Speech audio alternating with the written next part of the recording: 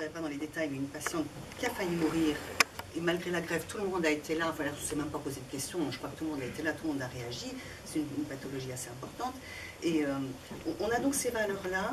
Et, pour moi, la notion de valeur, c'est important. On a des valeurs à titre personnel et aussi à titre professionnel en tant que, euh, professionnel du, service public hospitalier auquel je pense, je peux parler pour, toute, l'équipe, on est très très attachés.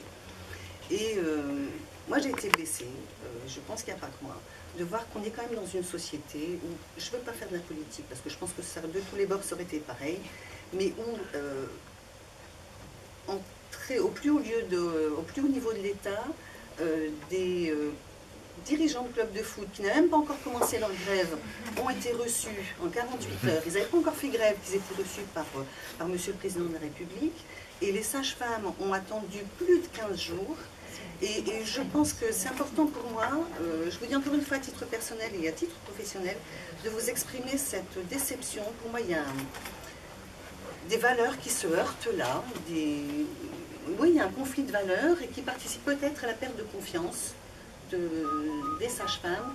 Et euh, moi, ça m'a heurté en tant que professionnel, qu'on ne, ne se, on s'est senti un peu pas écouté, voire parfois méprisé.